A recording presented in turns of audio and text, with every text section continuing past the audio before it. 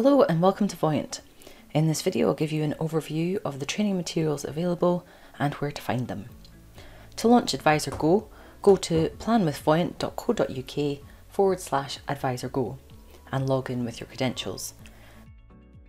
In the screen I've already opened a client plan from the home screen and from feedback we found that many users prefer to learn Voyant while actually using the system themselves and building a plan.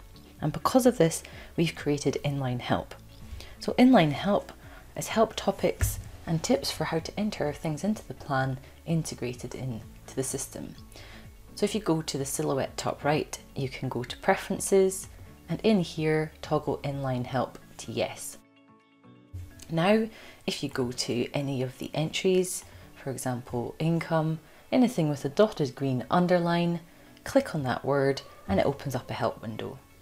You'll have a bit of information about that particular field and you'll be given an option to watch a video or for further help.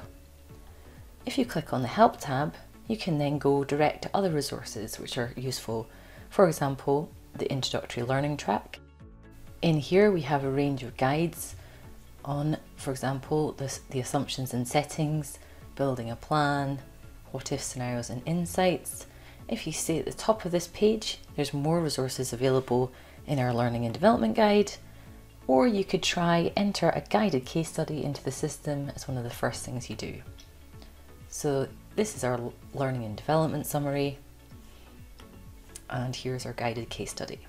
If you're using the guided case study, note there is a fact find at the end of the plan. Just click on this link to get to it. This is what the guided case study is walking through. Once you're in the introductory learning path, you're in our knowledge base.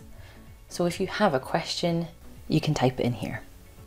Finally, we also have videos. So if you click on this YouTube link, it will take you to the YouTube channel and here you can find a range of longer webinars and shorter two minute videos. If you get stuck and you'd like to ask for help, you can go to support at planwithvoyant.com or if the question's about a particular plan, click on the client name and request support. Thanks for listening and any questions, please just let us know.